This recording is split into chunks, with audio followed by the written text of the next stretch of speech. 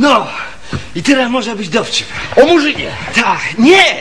Ten, ten drugi, ludzie. No właśnie mówię, ten drugi, o Murzynie w tunelu. Nie, no Jakim ten, tunelu? Ja nie znam w żadnym tunelu. ja to znam, to nie jest śmieszne. Ten drugi, ten, ten drugi o, o koszyku, no. O, o koszyku? No, A, o kacce! no, no. Nie, nie, to już lepiej ten o pierogach. Przepraszam, o jakich pierogach? No więc tak, w barze mlecznym ta panienka, co podaje, ona wychyla się z okienka i krzyczy Kto prosił? Stop! Co pan, co pan? A tak, tak faktycznie. Ale, pa- ale panie dyrektorze, można zamienić na leniwe.